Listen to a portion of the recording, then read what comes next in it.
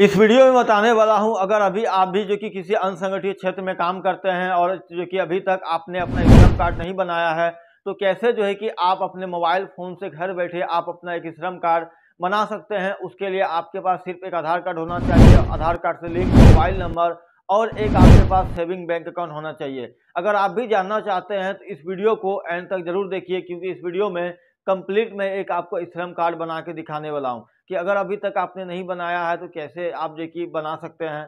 तो चलिए video card बनाने के लिए आपको अपने मोबाइल फ़ोन का जो गूगल क्रोम है उसको ओपन कर लेना और यहाँ पे आपको गूगल क्रोम में आपको सर्च करना है यहाँ पर ई श्रम आप सर्च कर सकते हैं या फिर ई श्रम पोर्टल भी आप सर्च कर सकते हैं। जैसे आप सर्च करेंगे तो यहाँ पे आपको फ़र्स्ट में ही आपको एक लिंक देखने को मिल जाएगा eShram dot G O V dot in तो आपको इसके ऊपर क्लिक करना है। जब आप इसके ऊपर क्लिक करेंगे तो यहाँ पे श्रम पोर्टल का जो वेबसाइट है, वो यहाँ पे ओपन हो जाएगा। आप यहाँ पे देख सकते हैं, रजिस्ट्रेशन इज़ टोटली फ्री।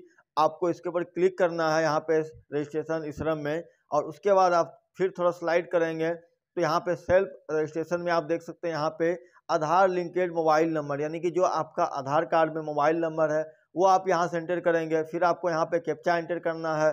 फिर आपको यहाँ से पूछा जाएगा, क्या आपका पीएफ में अकाउंट है या फिर नहीं? तो यहाँ पे जो कि आपको नो कर देना है, अगर आपका पीएफ में अकाउंट नहीं है और अगर आपका पीएफ में अकाउंट है तो आपका श्रम कार्ड नहीं बनेगा। तो यहाँ पे दोनों ही में ठीक है, यहाँ पे आपको नो कर देना है, उसके बाद यहाँ पे आपको सेंड ओटीपी में आपको क्लिक करना है। उसके बाद जो आप मोबाइल नंबर यहाँ पे एंटर करेंगे, जो कि आपका आधार कार्ड से लिंक है उस पर यहाँ पे ओटीपी आएगा आपको ओटीपी एंटर करना है ओटीपी एंटर करने के बाद आपको यहाँ पे सबमिट पर क्लिक करना है सबमिट करने के बाद यहाँ पे आपको आधार नंबर एंटर करना है उसके बाद फिर यहाँ पे फिंगरप्रिंट हो गया यहाँ पे उसके बाद यहाँ पे इस तरह यहाँ पे ओटीपी का आपको ओटीपी के ऊपर आपको यहाँ पे टिक करना है फिर आपको यहाँ पे कैप्चा फिर से आपको यहाँ पे एंटर करना है फिर आपको यहाँ से I agree term and condition के ऊपर आपको टिक करना है और टिक करने के बाद आपको यहाँ से फिर सबमिट के ऊपर क्लिक करना होगा। सबमिट करने के बाद यहाँ पे फिर से आपका एक ओटीपी आएगा, आधार कार्ड से तो आपको यहाँ पे ओटीपी एंटर कर लेना है। ओटीपी एंटर करने के बाद आपको यहाँ पे वैलिडेट के ऊपर आपको क्लिक करना है। उसके बाद आप इस तरीके से स्लाइड करेंगे तो जो आपका यहाँ पे आधार कार्ड जो है, वो इस तरीके से यहाँ पे वर्चुअल में शो हो जाएगा। और यहाँ से आप देख सकते हैं आपका यहाँ सारा एड्रेस वगैरह, जो भी आधार कार्ड का सारा डिटेल यहाँ पे यहाँ पे आधार कार्ड का आपका फ़ोटो भी शो हो जाएगा। और उसके बाद आपको क्या करना है, यहाँ पे फिर से आपको आई, यहाँ पे I agree term and condition के ऊपर आपको टिक करके आपको यहाँ से continue to enter another detail के ऊपर आपको क्लिक कर देना है। और जैसे ही आप क्लिक करेंगे तो यहाँ पे पर्सनल इन्फॉर्मेशन में आप आएँगे तो यहाँ पर आपका मोबाइल नंबर शो हो जाएगा। फिर आपको यहाँ यहाँ पे आप एक इमरजेंसी मोबाइल नंबर दे सकते हैं, फिर ईमेल आईडी दे सकते हैं, फिर यहाँ से आपको मैरिज स्टेटस हो गया, वो आप यहाँ से, यहाँ पर आपको भरना होगा। फादर नेम हो गया सोशल कैटेगरी हो गया, आपको यहाँ से यानी कि आप किस जाति से यहाँ पे आपको सिलेक्ट करना होगा।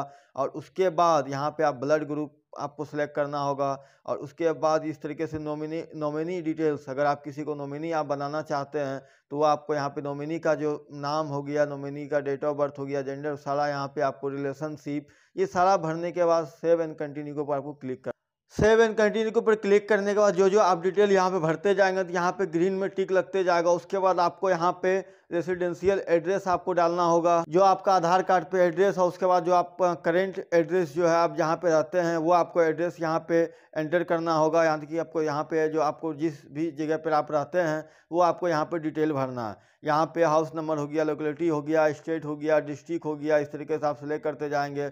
और उसके बाद सब डिस्ट्रिक्ट हो गया पिन कोड हो गया। और यहाँ पे एड्रेस भरने के बाद फिर से आपको यहाँ पे सेव एंड कंटिन्यू को आपको क्लिक करना है। उसके बाद आपको यहाँ पे एजुकेशन क्वालिफिकेशन में आपको जो जितने तक भी आपने पढ़ाई किया है, वो आपको यहाँ पे एजुकेशन आपको यहाँ पे बताना होगा कि आप यहाँ पे कितने तक पढ़े हैं। आप इस तरीके से आप नहीं भी, अगर आप नहीं पढ़े हैं, यहाँ पे लोट आपको क्लिक कर सकते हैं और यहाँ से अगर जो भी आपका एजुकेशन है, आप सिलेक्ट कर सकते हैं। यहाँ पे चूज़ फ़ाइल के ऊपर आप क्लिक करके एजुकेशन आप सर्टिफिकेट भी आप अपलोड कर सकते हैं। उसके आपका जो भी मंथली इनकम जो है, आप कितना रुपया आप महीना में कमा लेते हैं, जो भी आपका, जो भी आप व्यवसाय करते हैं तो आपको यहाँ पे दस हज़ार रुपये से भी आप सेलेक्ट कर सकते हैं यहाँ पे इस तरीके से। उसके बाद फिर से आपको सेव एंड कंटिन्यू को, कंटिन्यू के आपको क्लिक करना और उसके बाद आपको यहाँ पे आप स्किल जो भी आप काम करते हैं, वो आपको यहाँ पे बताना पड़ेगा कि आप क्या करते हैं। और उसके यहाँ पे अगर आप जो भी यहाँ पे आप काम करते हैं, अगर आपको यहाँ पे सर्च करने में प्रॉब्लम आ रही है तो आपको यहाँ पे क्या करना है पे एन ओ सी के ऊपर यहाँ पे क्लिक हेड के ऊपर आप क्लिक करके जो भी आप काम करते हैं, उसका आपको एक पीडीएफ फ़ाइल मिल जाएगा यहाँ पे। और यहाँ पे एन ओ सी कोड जो है, आप वो डायरेक्टली जो है, वहाँ पे कोड भी आप वहाँ पे एंटर कर सकते हैं। उसके बाद आपको यहाँ पे वर्किंग एक्सपीरियंस जितने साल का भी है, वो आपको यहाँ पे बताना होगा और उसके बाद आप सेकेंडरी में भी भर सकते हैं और उसके बाद नहीं तो यहाँ पे फिर आप सेव एंड कंटिन्यू के ऊपर आपको क्लिक कर देना है। फिर फाइनल यहाँ पे बैंक डिटेल आ जाएगा। तो बैंक डिटेल में आपका जो सेविंग बैंक अकाउंट है, वो आप यहाँ पे saving bank account number enter करेंगे। फिर सेम नंबर आपको यहाँ पे कंफर्म में एंटर करना उसके बाद अकाउंट होल्डर्स नाम, जो भी नाम है, यानी कि बैंक में जो आपका नाम है, वो आप एंटर करेंगे। फिर यहाँ पे बैंक का जो आईएफएससी कोड है, वो आप यहाँ पे एंटर करेंगे। फिर बैंक का नाम, ब्रांच नाम, यहाँ पे सारा ये डिटेल भरने के बाद फिर से आपको यहाँ पर सेव एंड कंटिन्यू के ऊपर आपको क्लिक कर सेव एंड कंटिन्यू के ऊपर आपको क्लिक कर देना है। और यहाँ से आप सेव भी कर सकते हैं, नहीं तो नेवर भी कर सकते हैं। तो सारा डिटेल आपका शो हो जाएगा प्रीव्यू डिक्लेरेशन में। उसके बाद आप यहाँ पे क्या करेंगे यहाँ पे, फिर से आपको आई टर्म एंड कंडीशन का यहाँ पे चेक बॉक्स का आएगा। इसके ऊपर आपको टिक करके सबमिट के ऊपर आपको क्लिक कर देना है। और जैसे ही आप सबमिट के ऊपर क्लिक करते हैं तो आप देख सकते हैं यहाँ पे डाउनलोड यू कार्ड यहाँ पे देख सकते हैं कि आपका श्रम कार्ड इस तरीके से बन जाएगा, आप यहाँ से डाउनलोड भी कर सकते हैं और आपके पास एक एसएमएस के थ्रू आपको कि एसएमएस भी रिसीप्ट हो जाएगा।